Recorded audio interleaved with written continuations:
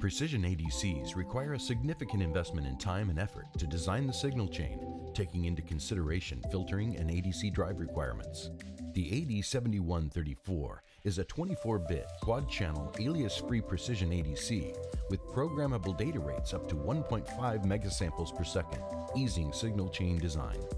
The AD7134's inherent anti-aliasing offers alias rejection up to 102 dB, eliminates the external filter, and saves board space by up to 70%, simplifying design and delivering low noise, low latency measurements. The Easy Drive resistive input eliminates or reduces requirements for an ADC driver, and channel-to-channel phase matching improves system performance for AC measurements. Order the evaluation board to try it in your design.